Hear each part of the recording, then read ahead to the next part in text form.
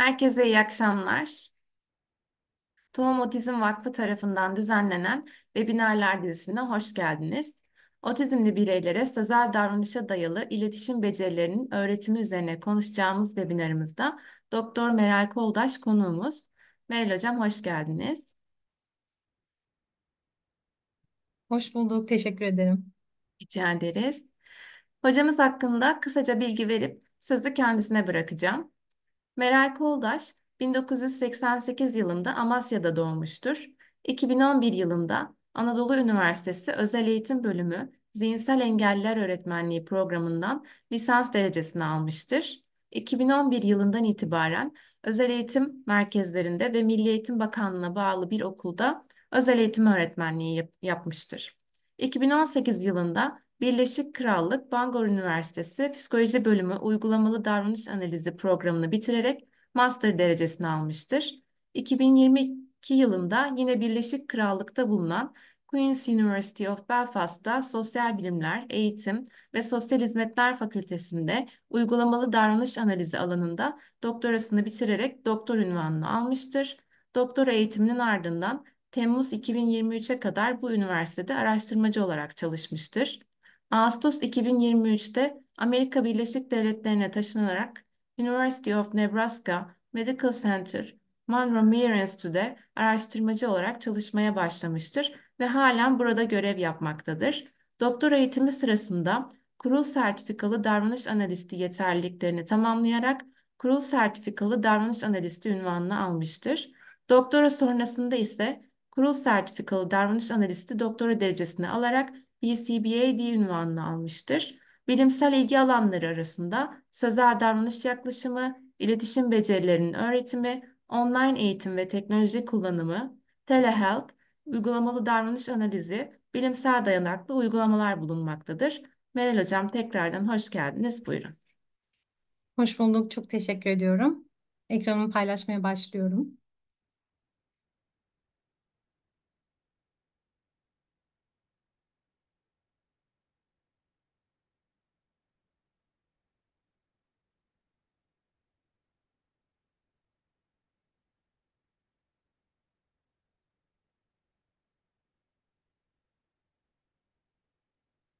Şimdi görebiliyor musunuz? Görebiliyoruz hocam. Tamam, teşekkür ederim. Ee, tekrar Melis Hanım size çok teşekkür etmek istiyorum. Ayrıca Tom Otizm Vakfı'na da davetlerinden dolayı teşekkür ediyorum. Biz teşekkür ederiz.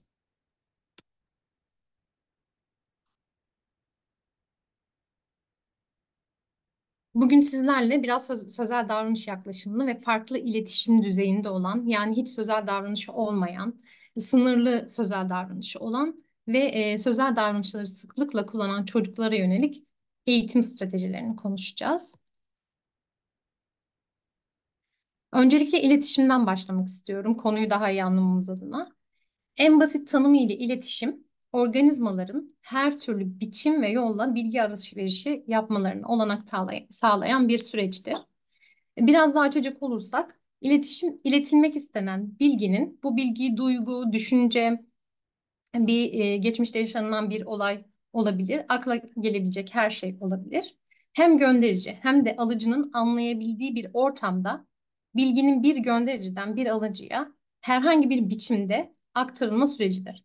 Burada önemli nokta iletişim herhangi bir biçimde sağlanabilir. Yani bu biçim her zaman konuşma olmak zorunda değildir. Peki iletişimin otizm spektrum bozukluğu ile olan ilişkisine bakacak olursak, otizm spektrum bozukluğu sosyal iletişim ve etkileşimde sürekli sınırlılıklar, sınırlı davranış ve ilgi alanları ve bireye özgü duysal hassasiyetler olarak tanımlanmaktadır. Bu ne demek? Bir bireyin otizm spektrum tanısı alması için bu üç alanda farklılıklar gösteriyor olması gerekmektedir. Yani otizmin tanımında konuşma ile ilgili herhangi bir kriter bulunmamaktadır. Bunun yerine iletişimde ve sosyal etkileşimde sınırlılıklar ve farklılıklardan bahsedilmektedir. Ee, Mart 2023'te yayınlanan bir rapora göre Amerika Birleşik Devletleri'nde her 36 çocuktan birinde Birleşik Krallık'ta ise her, her 57 çocuktan birinde otizm spektrum bozukluğu görülmektedir. Peki otizmli bireyler sosyal etkileşim ve iletişim becerilerinde farklılıkları e, gösteriyorlar. Evet, bunları bir çalışmalarla destekleyecek olursak, otizmli bireylerin yaklaşık %25'i hayatlarının büyük bir bölümünde sözsüz iletişim halindedir. Otizmli bireylerin yine %70'inde hafif ile orta derecede dil gecikmesi görüle, görülebilir. Bu bireyler dil gelişim dönüm noktalarını da tipik akranlarına göre daha çok daha geç karşılarlar ve daha geç edinebilirler.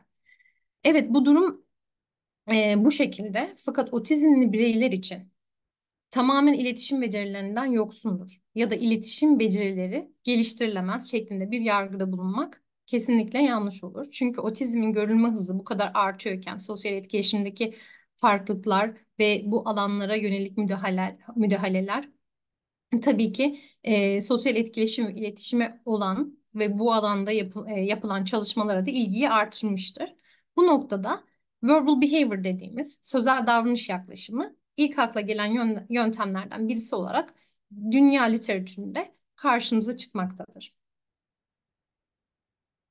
B.F. Skinner 1957 yılında Verbal Behavior kitabını yazarak eğitimcilere hangi değişkenlerin dil davranışını kontrol ettiğini anlamalarına yardımcı olacak kuramsal bir kaynak sağlamıştı. Skinner davranışçı yaklaşımın dili anlama ve öğrenmede nasıl uygulanabileceğini göstermek için bu e, kitabını yazmış ve kitabında da bunu savunmaktadır. Skinner kitabının ikinci sayfasında şöyle söylüyor. Sözel davranış bir başka bireyin aracılığıyla pekiştirilen davranıştır. O bu şekilde tanımlıyor. Skinner'in sözel davranış yaklaşımı otizmli bireylere iletişim becerilerini öğretmede yaygın olarak kullanılmaktadır ve etkililiği defalarca araştırmalarla desteklenmiştir. Şimdi sözel e, edinimler ve sözel davranışlarla ilgili öğretim strateji, stratejilerine değinmeden önce sözel ve sözel olmayan e, davranışlar nelerdir? Bunlardan birazcık bahsetmek istiyorum. Çünkü bu konuda dünyada ve tabii ki ülkemizde de bazı kavram kargaşaları e, yaşanabiliyor. Sözel davranış dendiğinde aklımıza konuşma, ses üretimi yani vokal dediğimiz davranışlar gelmektedir. Skinner tarafından tanımlanan sözel davranış ve sözel olmayan davranış yani vokal, sesli e, ya da sesli olmayan davranışlar birbirinden tamamen farklı. Vokal davranış ağız kaslarının hareketlerinden kaynaklanan işitsel uyaranların e, üretimi ve ses üreten herhangi bir davranışı içermektedir. Vokal olmayan davranış ise ağız yoluyla sesler üretilmemesi ya da üretilememesi ya da konuşma seslerinin kullanılmaması ya da kullanılmamasını ifade ediyor. Peki sözel davranış ne? Vokal ve vokal olmayan davranıştan bahsettik. Sözel davranış ise ses üretimi sınırlamalarından tamamen farklı. Bu sözel davranışın vokal, sesli ya da vokal olmaması, sesli olmaması onun sözel davranış olup olmaması üzerine bir etkisi yoktur. Bu davranış sonucunda çevreyle kurulan iletişimin bir kişi tarafından pekiştirilip pekiştirilmediğine bakılır. Örneğin çocuk işaret dilini kullanarak ya da e, ses üreterek isteklerini ifade edebilir ve bu davranışlar pekiştirildiğinde gelecekte tekrarlanma olasılıkları artar. Sözel davranış konuşma, işaret dili, jestler, yazılı kelimeler ve semboller dahil olmak üzere tüm iletişimsel tepki ve davranış biçimlerini kapsayan geniş bir kuramdır. Sözel davranışa örnek verecek olursak, mesela bir çocuk araba istediğinde araba diyebilir. Sadece e, arabanın resmini gösterebilir e, ya da araba e, arabayla ilgili bir şarkı söyleyebilir. Bir başka kişi, çevrede bulunan başka bir kişi eğer çocuğa arabayı veriyorsa, bu davranışını pekiştiriyorsa, bir etkileşim varsa bu bir sözel davranış örneğidir. Yine aynı şekilde bir çocuk araba istediğinde araba diyebilir ya da farklı bir şekilde araba istediğini ifade edebilir. Bu davranışın ardından çocuk arabayı kendisi alıyorsa ya da ortamdaki herhangi birinden pekiştirme sağlanmıyorsa bu sözel bir davranış değildir. Sözel yaklaşımın temel ilkesi e, yalnızca kelimelerin ve ifadelerin yapısının veya topografyasının tanınması değil, aynı zamanda bu kelimelerin üretildiği bağlamın da dikkate alınması gerektiği. Dilin hem biçimsel hem de işlevsel özellikleri var bildiğiniz üzere. Bir dilin biçimsel tanımı o dilin topografyasına ve sözel yanıtların yapısına dayanır. Bir dilin biçimi sözcükleri, isimler, fiiller, edatlar, sıfatlar, zarflar gibi e, sınıflandırarak tanımlanabilir. Bireyin neden sözel davranış ürettiği ise dilin işlevsel özelliğidir. Bireyin belirli kelimelerin veya cümlelerin kullanılmasına neyin sebep olduğu ve bireyin bunun sonunda ne elde ettiği dilin işlevsellik özelliğini göstermektedir. Bu her iki özellik de e, herhangi bir dil kuramı, bir dil yaklaşımı için önemlidir ve kullanılan dilin tam olarak hakkını vermek için her ikisinde dahil edilmesi gerekmektedir. Bu biçimsel sınıflandırmaları ve açıklamaları vermemin sebebi e, iletişim becerilerini öğretirken ve iletişim becerilerine yönelik değerlendirme yaparken bireyin işlevsel olarak iletişim kurup kurmadığına bakılmasının gerekliliğini vurgulamaktır. Birey biçimsel olarak bir kelimeyi kullanıyor olabilir. Fakat bunu çevresiyle iletişim kurmak için kullanmıyorsa burada bir müdahale gerekebilir. Mesela öğrenciniz e, izah etmek diyebilir ya da izah edebilir miyim diyebilir. Bu biçim olarak çok güzel bir cümle. İzah kelimesinin kullanılması. Fakat e, neyi izah edeceğini bilmiyorsa ya da izah etmesi gereken bir yerde bunu kullanmıyorsa ya da karşı tarafta bu davranışın bir karşılığı yoksa bu demektir ki kişi, birey işlevsel olarak bu kelimeyi kullanmıyor ve bu da bizim sözel davranış tanımımız kapsamına girmemektedir. Şimdi bunu birazcık daha e, ayırt etmek istiyorum. Mesela Lego is isteyebilir. Lego istemek ya da Lego istiyorum diye söylemek vokal, ses üreterek istediğimiz bir davranıştır. Bunun sonucunda gidip Lego'yu kendisi alıyorsa bu sözel bir davranış değildir. Sadece sesli vokal bir davranıştır. İşlevsel olarak baktığımızda ise sözel davranış biçimi olarak Lego ile ilgili şarkı söylemek, Lego'nun resmini uzatmak, işaret etmek, veya Lego'yu Lego istiyorum diye söylemek ya, ya da sadece Lego demek. Ve bunun sonucunda da bireyin e, çevresinde bulunan kişi veya kişiler tarafından Lego'nun o kişiye verilmesi bu davranışın pekiştirildiğini gösterir ve artık bu sözel davranış olarak tanımlanabilir. Günlük yaşamdan bir örnek vermek istiyorum. Mesela öksürme davranışımız. Öksürme sesi çıkarmak bir vokalizasyondur. Ama bunun sonucu bu davranışın e, bu davranışımıza çevreden bir pekiştirme, bir tepki gelmediyse sadece bu sesi çıkarmış oluruz. İşlevsel olarak sözel davranış çerçevesinde baktığımızda ise öksürdüğümüz zaman, bu sesi çıkardığımız zaman çevremizdeki insanlar bize su verebilir. Bu davranışın pekiştirilmesidir. Ya da e, istemediğimiz bir konu konuşuluyor olabilir ve biz öksürdüğümüz zaman arkadaşımız o konuyu değiştiriyor olabilir. Bu davranışın pekiştirilmesidir. Ya da e, COVID'den sonra sık sık karşılaştığımız öksürdüğünüz zaman hasta mısınız diye sorulup ya araya mesafe koyulma e, durum olabilir ya da işte insanlar maske uzatabilirler. Bu da yine bu davranışın pekiştirilmesidir ve sözel davranış kategorisi altında ele alınır. Şimdi bir çocuğun aynı kelimeyi söylemesinin farklı sebepleri olduğunu düşünelim. Mesela biz bir kelimeyi neden söyleriz? Makarna yemek istediğimiz için makarna diyebiliriz. Makarna resmi gördüğümüz için makarna diyebiliriz. Makarna pişiriyordur annemiz. Makarnanın kokusunu aldığı için söylüyor olabiliriz. Biri makarna dediğinde bunu tekrarlıyor olabiliriz. Mesela birisi pizza der, bunun üstüne biz makarna demiş olabiliriz. Ya da birisi en sevdiğin yemek nedir diye sorduğunda makarna cevabını verebiliriz.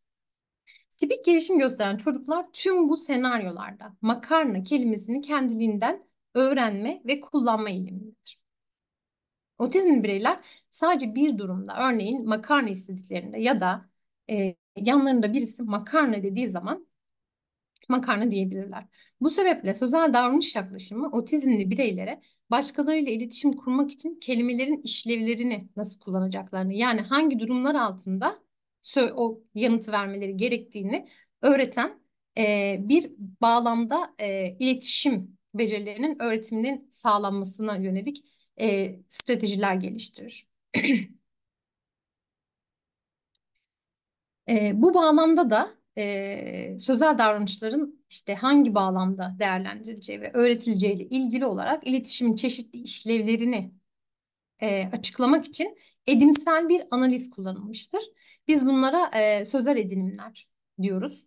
Temel sözel edinimler şunlardır. Talep etme, ment, adlandırma ya da etiketlendirme, tagged, sözel taklit, ekoik. Bu e, ekoleli değil, tamamen sözel söylenen bir şeyin sözel olarak taklit edilmesi ve karşılık verme, intraverbal. Maalesef kısıtlı bir zamanımız olduğu için burada sunumu belirli bir zaman diliminde bitirmek durumunda olduğumuz için ben bugün sadece talep etme, ment öğretiminden bahsetmek istiyorum. İlerleyen dönemlerde belki diğer sözel edinimleri de tek tek anlatma şansımız olur diye umuyorum. Sözel davranış yaklaşımı çerçevesinde talep etmeyi açıklamadan önce biraz tipik gelişimde talep etme nasıl gelişiyor? Bundan bahsetmek istiyorum. Mesela bir bebek ilk doğduğu anda çevresiyle iletişim kurmaya başlar. Ve e, ilk kurduğu iletişim biçimi ağlamaktır. Acıktığında ağlayabilir, işte altını ıslattığında ağlayabilir, bir durumdan rahatsız olduğu zaman ağlayabilir. Ve ebeveynler genellikle şunu söylerler. E, ağlama şeklinden bile o acıktı mı, susadı mı ya da bir yeri mi ağrıyor anlayabiliyoruz derler. Bu bebeklerin yani insan olarak bizim çevreyle ilk iletişim kurma biçimimizdir ve işlevsel olarak talep etme davranışıdır ve bunun karşılığında da talebimizin karşılanması yani karnımızın doyması, altımızın değiştirilmesi gerçekleşir. Bu şekilde çevredeki insanlarla ilk iletişimler, ilk etkileşimler başlar ve yine e, bu ağlama daha sonra seslere, daha sonra daha kompleks, sözel ve sözel olmayan iletişim biçimlerine kendini bırakarak gelişir. Skinner'a göre talep etmek, bireyin ihtiyaç duyduğu, arzuladığı veya istediği bir şeyi belirtmek ya da elde etmek ya da ima etmek için kullandığı dil edinimidir. Mesela aç bir birey bir şeyler yemek istediğinde eğer bunu talep ediyorsa, söylüyorsa, acıktığını ifade ediyorsa, çevresinde bulunan kişiler tarafından bu talebi karşılı, karşılanıyorsa bu bir e, talep etme sözel davranıştır. Şimdi teknik terimlerle birazcık açıklamak istiyorum. E, talep etme, bireyin ne talep ettiği, güdüleyici işlemlerin işlevsel kontrolü altındadır. Yani bireyin bir şeye olan ihtiyacına ya da bir şeyi ne kadar istediğiyle ortaya çıkar ve belirli bir pekiştiriciyle bireyin istediği şeyi elde etmesiyle sürdürülür. Güdüleyici işlemler e, pekiştirme veya ceza türü olarak işlev gören sonuçların değerini ve daha önce bu sonuçlarla il ilişkilendirilmiş davranışların meydana gelme olasılığını anlık olarak değiştiren olay veya uyarıcı koşulları ifade eder. Kısacası güdüleyici işlemler bir şeyin ne kadar istediğiniz ve onu elde etmek için ne kadar çalışacağınızın üzerinde etkiye sahiptir. Yani bir şeyi ne kadar çok istiyorsak, ne kadar çok ihtiyacımız varsa onu o kadar çok talep ederiz. Güdüleyici işlemlerin iki ana özelliği vardır. Değer değiştirme etkisi ve davranış değiştirme etkisi. Örneğin otizmli bir birey için meyve suyu ya da bir içeceğin değeri uzun bir fiziksel aktiviteden bir etkinlikten sonra etkili bir pekiştirici, bir uyaran olarak artar. Otizmli bireyin çok fazla e, suyu tüketmesi ya da o meyve suyunun tamamını içmesinin ardından da bu meyve suyunun değeri ortadan kalkar. Ya da uzun bir fiziksel aktiviteyi bitiren otizmli bir bireyin su sebiline yürümesi ya da dolabı açıp oradan su alması, meyve suyunu alması e, davranıştı. Geçmişte eğer sıvı tüketmeyle ilişkilendirildiyse bu susuzluk hissinden dolayı bu aktiviteden sonra bu davranışı sergileme olasılığı daha yüksektir. Aynı şekilde bu bireyin bolca su içtikten sonra aynı davranış yani su sebiline yürümek ya da dolabı açıp suyu meyve suyunu almak davranışını gösterme olasılığı azalacaktır. Bu bağlamda talep etme davranışı tamamen güdüleyici işlemler üzerine kuruludur ve biz davranış öncesi güdüleyici işlemleri değerlendirmeden, tespit etmeden ya da kullanmadan talep etme öğretimi gerçekleştiremeyiz. Bu yüzden güdüleyici işlemleri kısaca burada vermek istedim. talep etme için sıkça kullandığımız iki tane yöntem bulunmaktadır. Güdüleyici işlemlerin manipüle edilmesi ve ipucu kullanımı.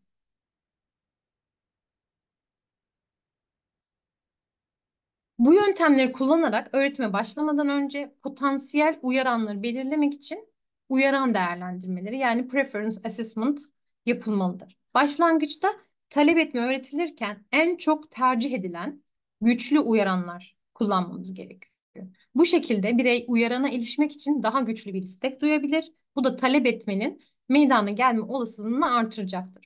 Burada özellikle pekiştireç değerlendirmesi yerine uyaran değerlendirmesi dememin sebebi pekiştireç ve uyaran değerlendirmeler arasında belirgin bir fark olması. Uyaran değerlendirmeleri uyaranları potansiyel pekiştiriciler olarak tanımlarken pekiştireç değerlendirmeleri bu uyaranların pekiştireç olarak etkililiğini belirlememize yarar. O yüzden biz uyaran değerlendirmesi yapmamız gerekiyor. Değerlendirme sırasında çeşitli potansiyel uyaranlar, örneğin bebek, top, araba, cips, çikolata, kitap, aklımıza gelebilecek her türlü uyaran sunulabilir. Eğer bir çocuk mesela top e, ilgi gösteriyorsa, top e, onunla oynamaya özellikle e, ilgisi varsa bu uyaran öğretim ortamlarında kullanılabilir ve topun ortamda varlığı çocuğun talep etme becerisini ortaya çıkararak iletişim kurma motivasyonunu artırabilir. Bireyin uyaranları elde etme motivasyonu güdüleyici işlemlerin e, manipüle ederek e, artırılmasıyla talep etme davranışını yine ortaya çıkartabiliriz. Mümkün olduğunda uyaranları geri çekmek ya da uyaranları değiştirmek anlık motivasyonu artırmaya ve sürdürmeye yardımcı olabilir.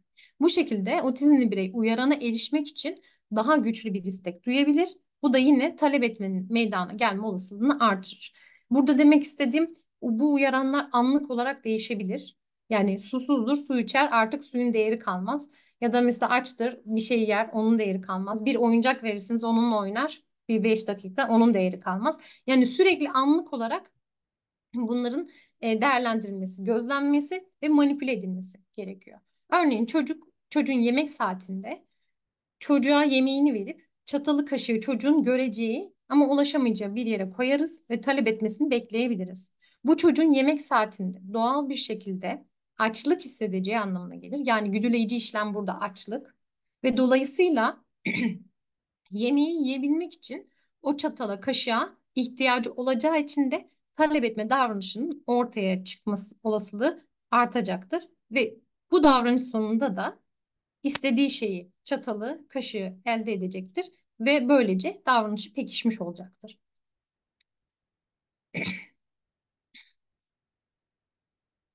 Bir diğer yöntemimiz ise ipucu kullanımı. Gerektiğinde e, talep etme davranışının gelişimini desteklemek için ipucu kullanabiliriz. Biz özel eğitimciler zaten her zaman ipuçlarına ihtiyaç duyarız ve ipuçlarını kullanırız. Birey yanlış bir tepkide bulunuyorsa ya da tepkide bulunmuyorsa ya da çocukla daha yeni talep etme eğitimine başladıysak ve çocuk nasıl tepkiler vereceğini bilmiyorsa ipuçlarını e, tepkilerin ortaya çıkmasını sağlamak için ipuçlarını kullanabiliriz. Ve tabii ki doğru tepkinin yaklaşıklarını pekiştiriyoruz her zaman. Yani çocuğun bizim istediğimiz hedef davranışı tamamen ortaya çıkarması değil, yaklaşığını çıkardığı zaman da bunu kabul edip e, buna göre ipucusunu ipuçlarımızı da sistematik olarak her zaman yaptığımız gibi silikleştiriyoruz. Örneğin bir uyaran değerlendirmesi yaptınız ve diyelim ki birey e, yine meyve suyu diyelim. Meyve suyunu çok seviyor ve ders zamanı geldiğinde genellikle aç veya susuz oluyor. Benim böyle bir öğrencim vardı. E, üç buçukta ders dersten çıkıyordu. İşte e, bize gelmesi e, seansa başlamamız dördü buluyordu. Çocuk aç ve susuz olarak geliyordu.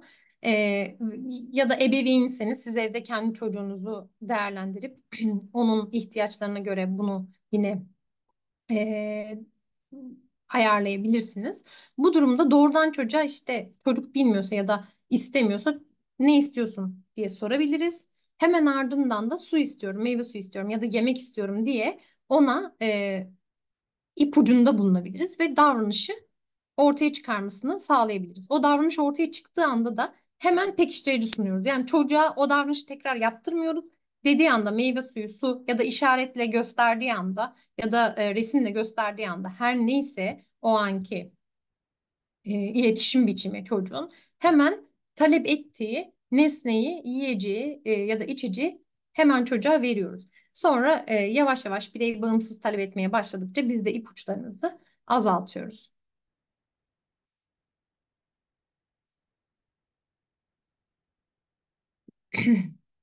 Öncelikle otizmli bireylerin dil düzeylerini belirlemek için bir değerlendirme yaparak e, di- sözel davranış öğretimine başlıyoruz.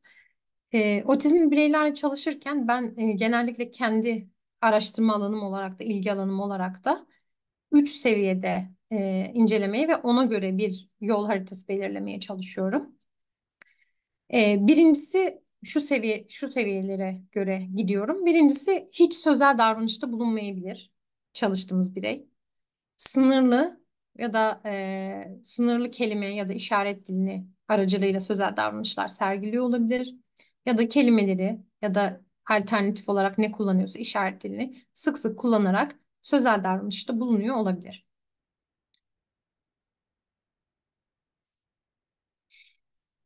Hiç sözel davranışı olmayan bireyler genellikle problem davranışı sergilemeye eğiliminde olurlar ve bu nedenle öğretilmesi gereken ilk şey talep etme davranışıdır. Talep etmeyi öğretmeye başladığımızda çocuğun iletişim girişimini pekiştirdiğimiz için yani ne istediğini verdiğimiz için çocuk e, verdiğimiz için çocuk daha sonraki e, zamanlarda talep etme davranışını ortaya çıkarır. Problem davranış yerine. Yani çocuk zaten ne isteyeceğini bilmediği için ya da isteklerini dile getiremediği için problem davranışları ortaya çıkarıyor genellikle ve biz bu çocuğa eğer talep etmeyi öğretirsek yani ne istediğini ya da ne istemediğini nasıl e, talep edeceğini öğretirsek problem davranış sergilemek yerine talep etme davranışı sergileyecektir.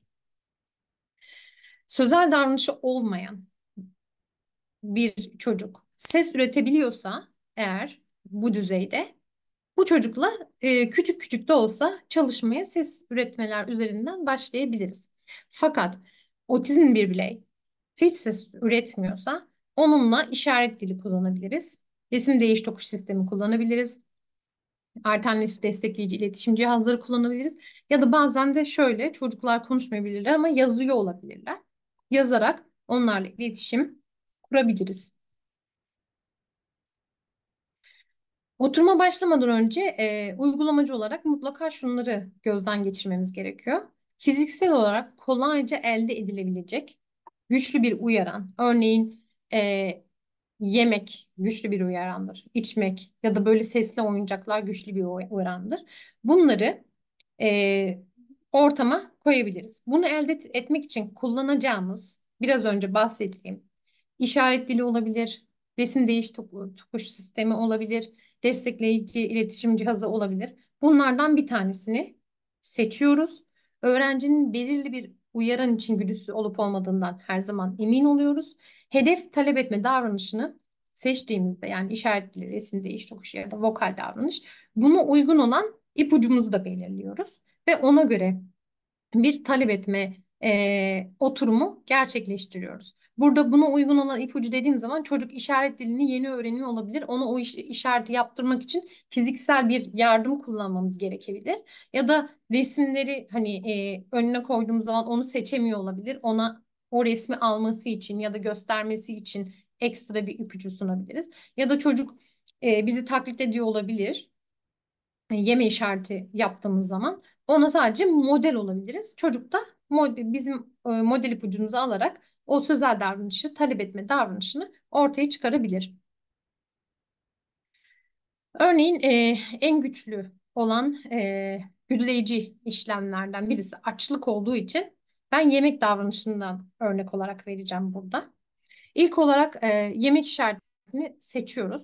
İşte bir elma olabilir, kraker olabilir, işte çikolata olabilir. Çocuk ne seviyorsa bunu e, masanın üzerine koyabiliriz. Bulunduğumuz e, yere koyabiliriz. Ama çocuğun tabii ki aç olduğundan ve o kullanacağımız yiyeceğe e, güdüsü olduğundan, güdüleyici işlemleri olduğundan emin olmamız gerekiyor. Sonra çocuğa ipucu vererek onun yemek işaretini mesela şu şekilde yapmasını e, sağ, sağlayabiliriz. Çocuk bunu yaptığı anda hemen ona küçük bir elma işte e, çikolata ya da cips her ne kullanıyorsak onu hemen vererek çocuğun davranışını pekiştiriyoruz. Ama çocuğa burada tekrar yaptırmıyoruz. Talep etme davranışı ortaya çıktığı anda hemen o davranışı pekiştirmemiz gerekiyor. Tekrar bir tekrar değil, küçücük bir e, elma verirsiniz.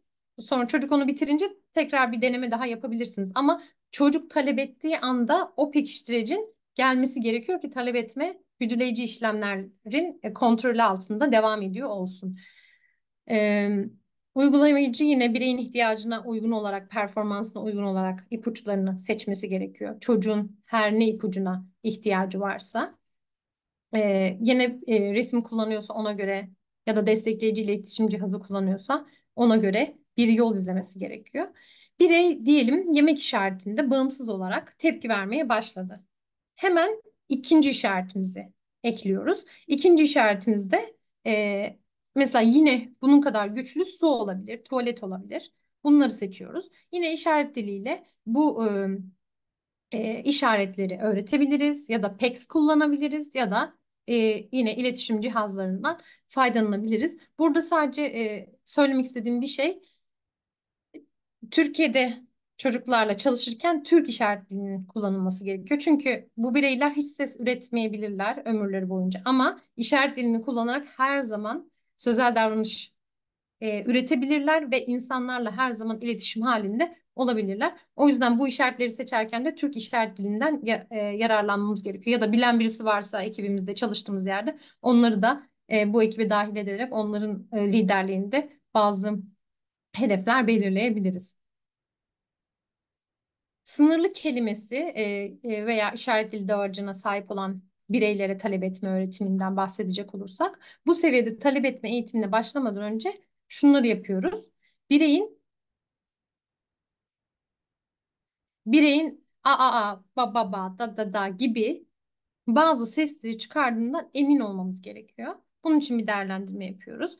Ve söyleyebileceği en kolay kelimeleri seçiyoruz. Çünkü pekiştirme çok önemli. Pekiştirdikçe davranışlar artacağı için e, en kolay seçeceği şeyleri söylüyoruz. Her öğretim oturumunda bir önceki seviyede de olduğu gibi talep etme eğitimi yapmaya çalışıyoruz. Talep etme davranışını ortaya çıkarmak için ona mümkün olduğunca fırsat sunup fırsatlar yaratıyoruz ve birey için e, pekiştirici işlevi olan uyaranları, nesneleri ya da eylemleri seçerek eğitimimize başlıyoruz. Burada e, ilk öğretim otur oturumu sırasında diyelim yemek işaretini yaptı, elmayı aldı ya da biz ona yemek işaretini yaptırırken, yaptırırken, yemeği gösterirken ya da model olurken biz ona ye demiş olabiliriz. Elmanın e demiş olabiliriz, elma demiş olabiliriz. Eğer çocuk buna yaklaşık bir kelime ürettiyse e diyebilir, el diyebilir, her neyse bu. Hemen onu pekiştirerek çocuğa o küçük elmayı veriyoruz. Ya da çocuk bunu söyleyemeyebilir ama ver diyebilir ya da sesini çıkarabilir, elini uzatabilir. Hemen onun istediği şeyi ona veriyoruz. Bu bir oyuncak olabilir ya da herhangi bir şey olabilir.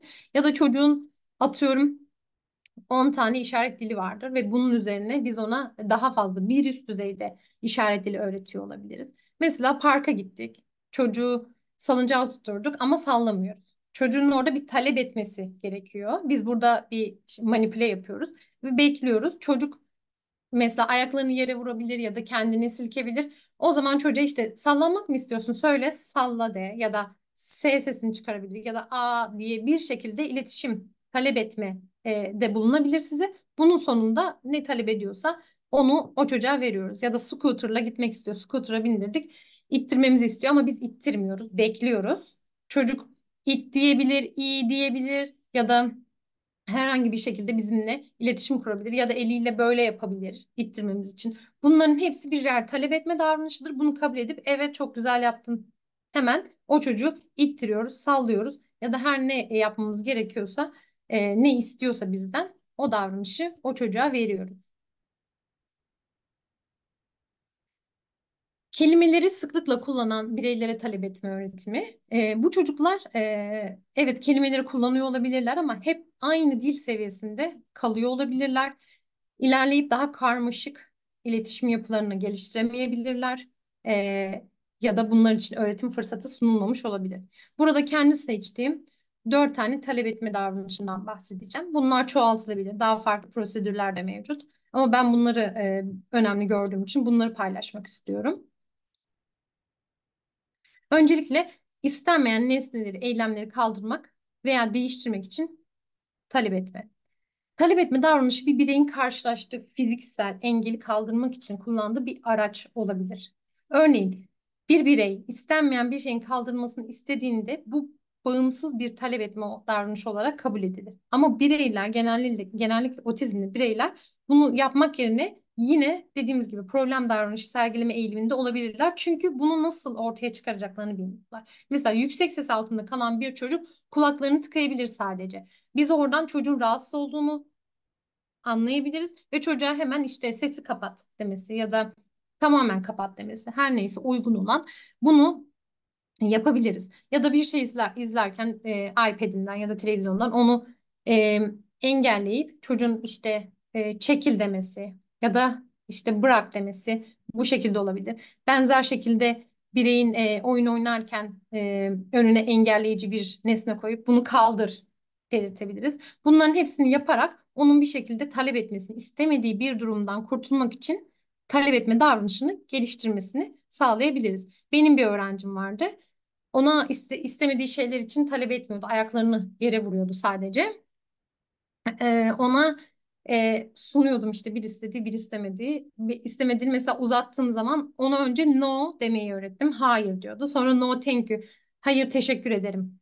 Ee, bir şey soruyorum ya da dersin sonunda şey diyorum. Bir saat daha ders yapmak ister misin? O da şey no thank you.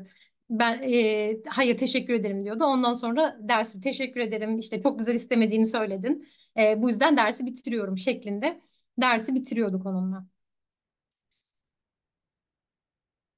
Yine bir birey eksik bir nesne veya etkinlik için e, nasıl istekte bulunacağını bilmeyebilebilir ve bu hayatı boyunca tamam kullanacağı ve sürekli karşısına çıkacağı akademik ortamlarda da bir beceri aslında e, istediği ya da istemediği şeyleri e, ifade edemeyebilirler. Bu aşamada uygulamacılar e, oyun bir oyuncak olabilir, bir e, e, etkinlik olabilir oyun sırasında aktivitede bir parçayı eksik bırakarak o nesneler için, o parçalar için e, bireyin talep etmesini isteyebilirler. E, mesela sandviç hazırlamayı düşünelim. Çocuk işte çok sevdiği bir e, sandviç olabilir ya da sevdiği şeylerle yapmak istediği. Ona malzemeleri verip işte bir malzemeyi ya da iki malzemeyi çocuğun e, durumuna göre eksik bırakarak onu bizden istemesini sağlayabiliriz. Mesela peynir vermeyip peynir istemesini ya da çatalı vermeyip e, şey, e, bıçağı vermeyip bıçağı istemesini e, sağlayabiliriz. Yine biz özel eğitimcilerin en çok kullandığı e, yöntemlerden birisi e, yapbozu verip parçaları eksik bırakmak. Bu da çok etkili bir yöntem küçük çocuklarla özellikle. İşte veriyoruz işte daire içinden e, saklıyoruz. Çocuk oraya geldiği zaman bize daire diyebilir, üçgen diyebilir. Onu dedikten sonra hemen o parçayı çocuğa verebiliriz. Ya da tepkide bulunmuyorsa işte ne istiyorsun, neye ihtiyacın var diye sorabiliriz. Ondan sonra o parçayı çocuğa verebiliriz talep etme davranışını pekiştirmek için.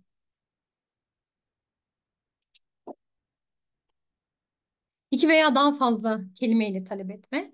Ee, çocuklar işte aç diyebilirler, ayakkabı diyebilirler, işte uyandıkları zaman e, sabah diyebilirler. Ama e, bunları kullanıyorlarsa eğer daha e, ilerlemiş bir formu olan bir biçimini de kullanabileceklerini varsayarak onlara her zaman e, daha e, iler ileriki ileri bir seviye olan formu öğretmeye çalışabiliriz. Mesela kapıyı aç ayakkabıyı giy, günaydın gibi sözel ipuçları kullanarak e, daha önce edindiği sözel davranışın daha uygun versiyonlarını öğretebiliriz. E, burada yeni benim bir öğrencim vardı. Baloncuk yapıyorduk. Önce işte baloncuk sadece balon demesini istiyordum. O balon dediği zaman o, ben o baloncuğu yapıyordum. Duruyordum. O balon deyince tekrar. Sonra baloncuk yap. Buna geçtik. E, işte baloncuk yapıyorum, duruyorum. O baloncuk yap diyor. Tekrar yapıyorum, duruyorum, tekrar yapıyorum. Sonra daha il- ilerleyen zamanlarda şöyle bir şey oldu. Daha fazla baloncuk yap demeye başladı. Ee, işte duruyorum baloncuk yap diyor. Ben durdum model oldum. Daha fazla e, dedim. O daha fazla dedi. Önce yaptım. Daha sonra işte daha fazla baloncuk yap. Sonra daha fazla baloncuk yap demeye başladı. Ve bu şekilde e, ona e, böyle söz ve söz öbeklerini iletişime, işlevsel bir şekilde iletişime geçmesi için öğretebiliriz.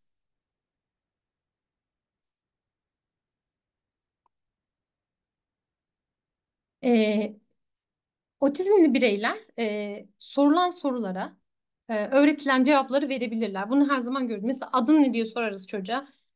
Adını söyler ya da yaşın ne diye sorarız. Yaşını söyler ama o bize geri o soruları sormayı bilir. Kendiliğinden sormayı bilir ya da herhangi bir se- sebeple e, o soruları sormayı bilir. Genel olarak sorunun cevabı olan bilgi için, bilgi talep etmede güçlü bir güdüleyici işlem olması gerekiyor. Ve verilen cevabı gerçekten bilmek için, e, bilmek o birey için pekiştirici görev görmesi gerekiyor. Mesela yaşın kaç diye sorduk, 6 dedi. O bize sormuyor. Yani benim yaşımın 35 olup olmamasını o çocuk için güdüleyici bir işle, güdüleyici bir yanı yok. Onu bilip bilmemesinin. Ama biz ne yapabiliriz? Onun o bilgi yani güdüleyici olan bilgileri bulup o çocuklara onları öğretebiliriz. Mesela nereye gidiyoruz? Annem nerede? Babam nerede? Ne zaman gidebiliriz? Gibi davranışlar ya da kelime kalıpları, söz kalıpları olabilir. Yine benim bir öğrencimle şöyle bir şey yapıyorduk. Çocuk saate göre çalışıyordu ve sürekli benim koluma e, saatime tıklıyordu. İşte sonra ben ona şey demeyeyim, what time demeyi öğrettim. Yani saat kaç diye sormayı öğrettim. O saat soruyordu. Ben de çok güzel sordum. Saat bu. İşte e, daha sonra kendi önce ben şöyle kağıda yazdım. What time is it diye. Ee, ona gösterdim. Her böyle yeltenliğimde benim kolumdaki saate bakmak için ben onu durdurdum. Dedim buradaki yazılı olana bakıyorsun. Okuma yazmayı bilen bir çocuktu. 13 yaşındaydı. İşte o what time is it diye soruyor. Sonra ben saati söylüyorum. Sonra o yazılı ipucunu kaldırdım. Ve sadece işte o istediği zaman kendiliğinden bana saatin kaç olduğunu soruyordu. Ben de saati söylüyordum. O da ona göre işte ne kadar süremiz kaldığını e, tahmin etmeye çalışıyordu. Biliyordu zaten. Otizmli Türk çocuklarına bu e, nedir sorarak talep, bilgi talep etme becerisinin öğretimini biz e, çalıştık. Bu çalışmayı da yakın bir zamanda yayınlamayı düşünüyoruz. Bu araştırmamızda mesela otizm spektrum bozukluğu olan bireylerin nesneler hakkında bilgi talep etmek için ve bunlarla ilgili bu nedir sorusunu sormalarını öğrettik çocuklara. Bunu nasıl yaptık? Mesela çocuğun üç tane bildiği, bir tane bilmediği nesneyi çocuğun önüne koyuyoruz. Ve diyorum ki işte masada neleri görüyorsun? İşte çocuk e, elma, armut, muz diyor. Üçüncüsüne geldiği zaman duruyor. Söylemek istiyor ama yok. Sonra öğretmenine bakıyor. Böyle cevap arayan gözlerle. O bilgiye ihtiyacı var. Ve ona baktığı zaman e, işte bu ne diye hemen model oluyoruz. Çocuk bu ne diye söylüyor. Sonra greyfurt cevabı veriyoruz. Ya da ikinci denemeye geçiyoruz işte. Araba, kamyon, e, uçak. Dördüncüye gelince öğretmenine bakıyor. Öğretmeni bu ne diye model oluyor. Çocuk da bu ne diye soruyor ve e, biz cevabı veriyoruz. Bu bir zeplin. Bu şekilde çocuk artık bilmediği bir durumla karşılaştığı zaman kendiliğinden bu ne diye sormaya başladı ve e, bunları bağımsız bir şekilde e, yapmaya başladı e, ve hepsini öğrendiler. Sunumu bitirmeden önce vaktimiz sanırım doluyor, dolmuş da olabilir. E, talep etme e, öğretimini etkili hale getirmek için neler yapabiliriz? Ona da değinip sonlandıracağım. Dil eğitimi ve edinimi otizmli e, pek çok birey için son derece hassas bir süreç. Çünkü zaten e, bununla karşı bir isteksizlikleri var. Başarılı talep etme öğretimi bireyin ortamında güdüleyici işlemlerin etkisiyle zorunlu olarak ortaya çıkar ve birey için itici uyaranların kullanılmasını önler. Talep etme öğretim oturumları bireyin ihtiyaçlarının karşılanmasını yani e, karşılıyoruz. Bunun yanı sıra e, eğlenceli ve işlevsel olması gerekiyor. Bir birey kaçma davranışı gösteriyorsa öğretim onlar için ya eğlenceli değildir ya da işlevsel değildir. Burada tekrar bir gözden geçirme yapmamız gerekebilir. Talep etme öğretim sırasında bir problem davranışı ortaya çıkarsa uygulamacı bireyin oturumundan ya da etkinlikten kaçmasına izin vermemelidir. Hemen başka bir tercih değerlendirmesi, uyaran değerlendirmesi ya da daha önce değerlendirdiği uyaranlardan başka birini kullanması gerekir. Çünkü anlık olarak değişir demiştik. Uygulamacılar en az yönlendirmeyle, ipucuyla en kaliteli tepkiyi ortaya çıkarmalı ve her zaman bağımsız olarak onların talep etmesini hedeflememiz gerekiyor. Her bireyin talep etme repertuarı çeşitlilik gösteriyor. Tabii ki bireysel farklılıklar var. Bu nedenle uygulamacı birey tarafından zaman içinde değişen ve gelişen farklı isteklerin gözlemine dayanan bir talep etme listesi oluşturabilir. Çocuğun bildikleri, talep edebildikleri, talep edemedikleri ve bunlara göre gidebilir. Ee, ve zaten tercih değerlendirmesini söylemiştim. En önemli konulardan birisi o. Çünkü güdüleyici işlemleri belirlemek için. Teşekkür ediyorum ve Referans listesini de şöyle paylaşayım eğer okumak, bakmak isteyenler olursa. Çok teşekkür ederiz Meral Hocam. Ben teşekkür ederim. Örneklerinizle birlikte bence e, epey oturdu diye düşünüyorum. E, benim böyle Umarım. gözümün önünde canlandı sizin öğrencilerinizle yaptığınız çalışmalar. Çok teşekkürler onlar için de. Ben teşekkür ederim. Ee, ekran paylaşımını durdurayım mı? Durdurabilirsiniz. Tamam. Dilerseniz biz de e, soru soran katılımcılarımız varsa kalan zamanımızda bu soruları yanıtlamaya geçebiliriz.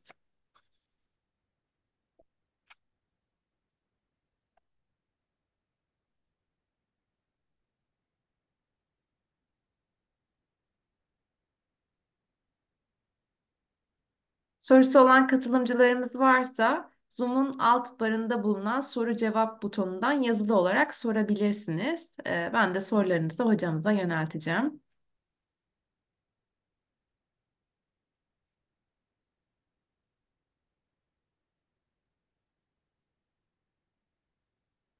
Bir yandan da e, değerlendirme formunu doldurmak için sohbet bölümünden herkese değerlendirme formumuzu da iletiyorum.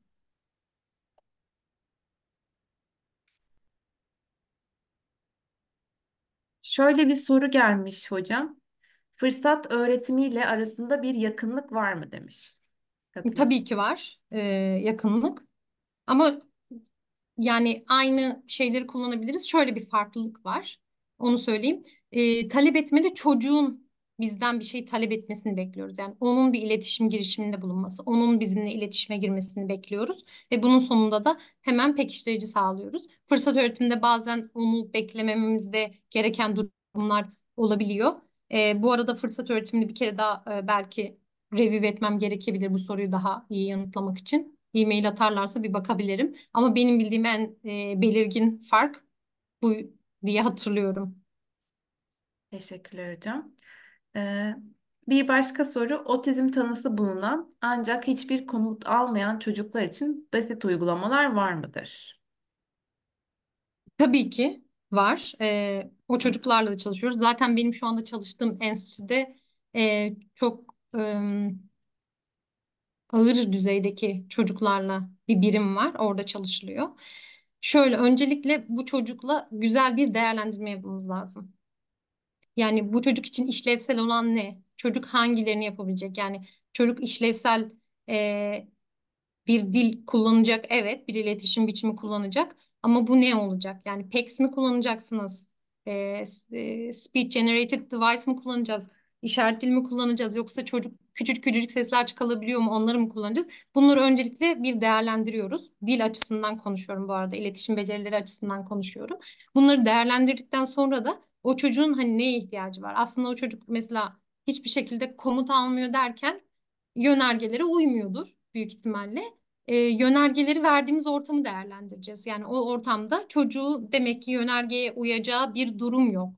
Yani demek ki o orta, ortam o çocuk için etkili değil bu ortamı o çocuk için etkili ve eğlenceli hale getirmemiz gerekiyor. Yani çocuk bizden bir şekilde talepte bulunacak.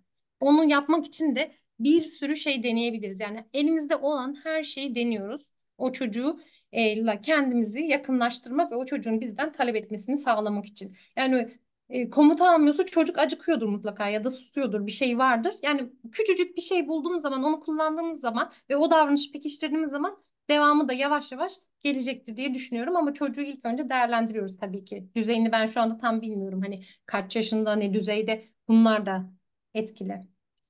Hı hı. Teşekkürler hocam. Ee, bir başka soru. Hafif düzey otizm tanısı almış birinci kademe öğrenciler için uygulayabileceğimiz etkinlikleri nereden bulabiliriz? Kitap veya site önerisinde bulunabilir misiniz? Ee, bildiğim İngilizce siteler var. Ee, onların isimlerini e, nasıl paylaşabiliriz bilmiyorum. Ee, Çete şuradan hızlıca aramamı ist- beklerseniz eğer hızlıca arayıp çete birkaç tane site koyabilirim. O sırada da diğer bir soruyu alabiliriz isterseniz. Tamamdır hocam. Ee, Diğer sorumuz da öğrencilerin dil becerilerini değerlendirmek için hangi araçları kullanıyorsunuz? Biz burada e, şey kullanıyoruz, VB Map'i kullanıyoruz. O hızlı bir şekilde olduğu için. E, o zaten en basiti ve en yaygın kullanılan e, değerlendirme aracı VB Map. Onu kullanabilirler. Türkçe'ye de çevrildi diye biliyorum zaten. Onur hocalar çevirmişti. E, onu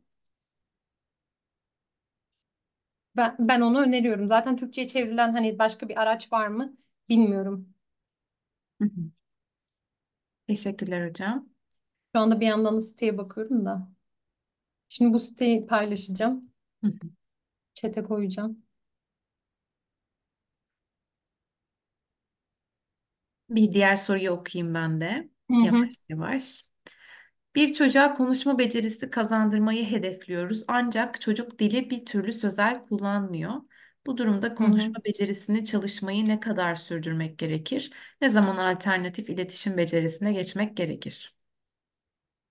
e, ses üretme olarak soruluyor diye düşünüyorum.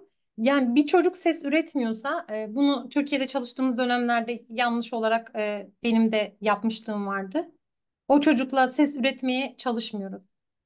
O çocuk çünkü ses içeriden gelen bir şey. Yani çocuğun artık bu e, burada tamamen şey yapılmaması gerektiğini savunuyorlar ve tamamen yanlış hiçbir şekilde uygulamıyoruz. Çocuğa o ellerimizi o çocuğun ağzı ya da ağız çevresine itici bir şekilde dokundurarak yani çocuk ondan hoşlanmadığı halde ses üretmek için bu çocukla saatlerce ses çıkarmaya çalışmıyoruz. Zaten o çocuk o sesi çıkarmıyorsa o çocukla o sesi 15 dakika, 20 dakika ya da yarım saat boyunca aynı şekilde çalışmanın bir şeyi yoktur, anlamı yoktur. Eğer çocuk ses çıkarmıyorsa, çıkarmıyordur. Bunu kabul edip çocuk alternatif olarak ne kullanabilir?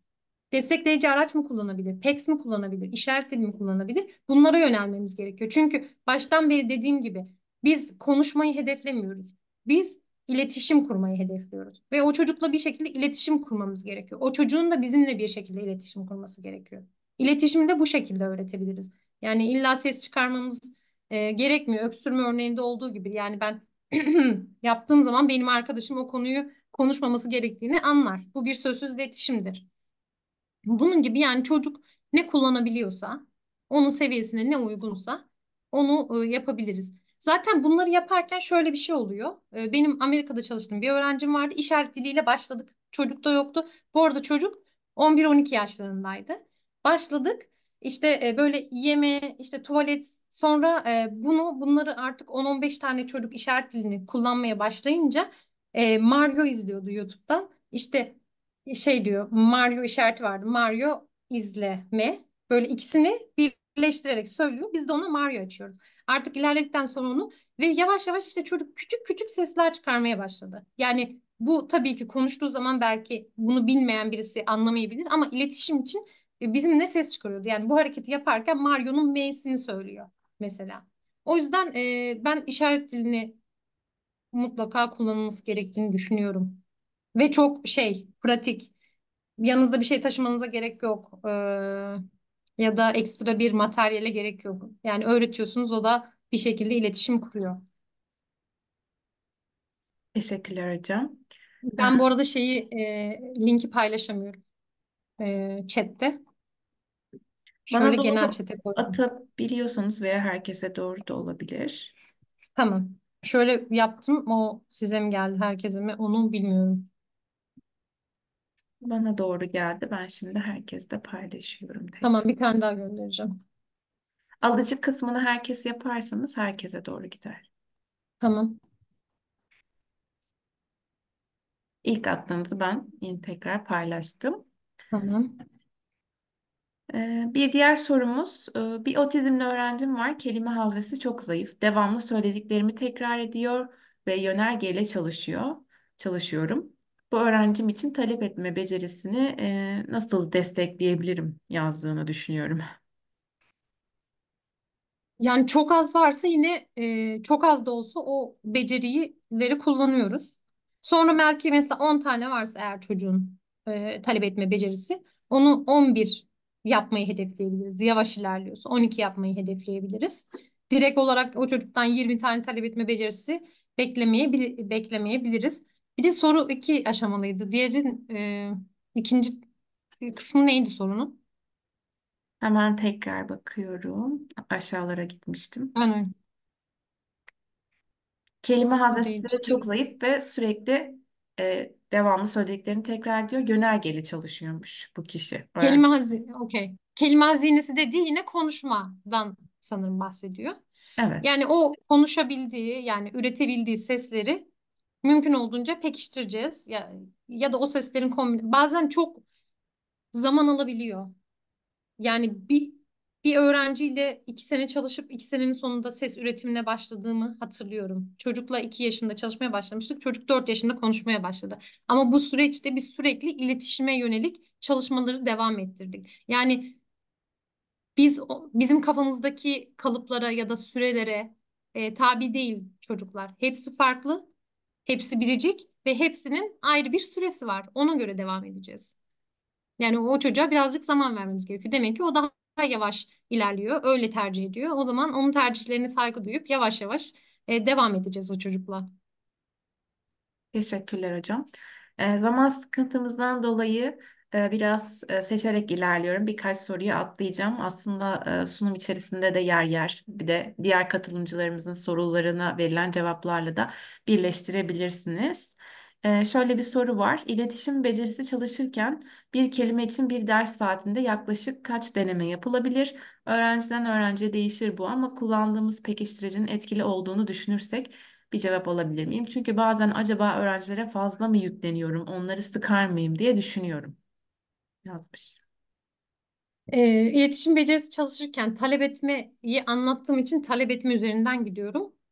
Çok, çok fazla, çok fazla talepte bulunabiliyorlar. Bazen bir öğrenci bir seansta belki 50 tane, 100 tane talepte bulunabiliyor.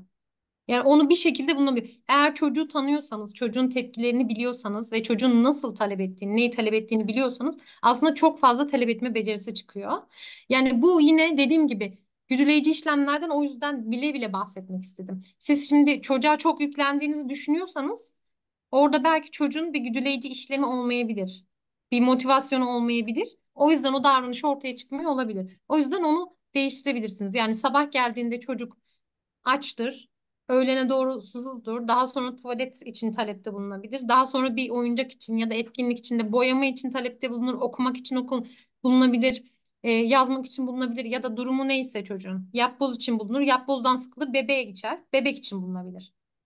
Yani burada önemli olan motivasyon ne? Güdüleyici işlemi ne? Hangi güdüleyici işlem altında talep etme becerisi ortaya çıkacak? Siz bunu nasıl çıkartacaksınız? Önemli olan o. Yani o zaman çocuğa yüklenmemiş olursunuz. Çocuğun motivasyonunu takip etmiş olursunuz. Ve her zaman onun iletişim girişimini ve talep etme sözel davranışını pekiştirmiş olursunuz aslında. Teşekkürler hocam. Son bir soruyu sorarak kapanışa geçiyor olayım. Sunduğumuz ipuçlara ve güdüleyici uyaranlara rağmen çocuk talep etmiyor. Problem davranış sergiliyorsa mola uygulamak, ağlayarak talep ettiği şeyi ortamdan kaldırmak ne kadar doğrudur? Ee, şimdi şöyle bu çocuğu yani ben görmedim. Belki o çocuk talep ediyordur. Çocuk niye ağlıyor bir kere? O, yani bir talebi var olduğunu düşünüyorum. O yüzden ağlıyor olabilir. Şimdi mesela hani problem davranışların farklı işlevleri var biliyorsunuz siz de. Yani bu e, kaçma kaçınma için ortaya çıkmış olabilir, bir şey elde etmek için ortaya çıkmış olabilir ya da oto- otomatik e, uyaranlar elde etmek için e, ortaya çıkıyor olabilir. Farklı işlevleri var. Bu işlevlerden hangisine yönelik olarak bu davranış, bu problem davranışı ortaya çıkıyor? Öncelikle bunu değerlendiriyoruz. Bu problem davranış değerlendirdik, bir sonuç bulduk. Mesela elde etme işlevi olsun, elde etmek için yapıyor. Onu o çocuğa o davranışın hmm, karşıt. Ee, bunu nasıl diyorduk Türkçe'de Melis Hocam? Hangi kelime? Şey diyorlar ya hani işlevsel iletişim. Yani o davranış yerine o- onu yapmayacağı da onun alternatifini öğretmeye çalışıyoruz. Hı hı. Ee, mesela o problem davranışın işlevine yönelik, elde etme işlevine yönelik olan bizim istediğimiz iletişim davranışını koyuyoruz. Ya da kaçma işlevine dedim yani istemedi, istemediği bir şey için hayır demesi ya da bunu söylemesi, eliyle böyle yapması her şey olabilir bir iletişim biçimi. O çocuk istemediği için e, problem davranış ortaya çıkartıyor olabilir. O istemediği davranışın ya da işlevin ne olduğuna bakıyoruz. Bu işleve yönelik olarak o çocuğa o davranışı öğretiyoruz. Alternatif davranışına. E, işte şey problem davranışlarının işlemlerinin değerlendirilmesi gerekiyor ilk önce. Teşekkürler hocam. Ee, son sorumuzdu. Ee, kapanışa geçiyorum şimdi. Ee, bugün gerçekleştirdiğimiz webinarda Doktor Meral Koldaş ile otizmli bireylere sözel davranışa dayalı iletişim becerilerinin öğretimi konusunu ele aldık. Davetimizi kabul ettiği için kendisine tekrardan çok teşekkür ederim. Ben teşekkür ederim. Arada başka şeylere de odaklandığım için soruları ve e, konuşmaları kaçırıyorum. Kusura bakmayın. Biraz önce de öyle bir süreç yaşadım. E, webinarlarımızda gelecek ayda devam edeceğiz. Ocak ayında düzenlenecek webinarımızın duyurularını ve kayıtlarını Tohum Otizm Vakfı'nın sosyal medya hesaplarından takip edebilirsiniz. Webinarlarımız YouTube ve Spotify kanallarımıza da ekleniyor. Bu webinarımızı tekrar izlemek, dinlemek veya paylaşmak isterseniz YouTube ve Spotify hesaplarımızı takip edebilirsiniz. Bir sonraki webinarda görüşmek üzere. Şimdiden yeni yılınızı kutlarız. İyi akşamlar diliyorum. Teşekkürler, iyi yıllar. Görüşmek üzere.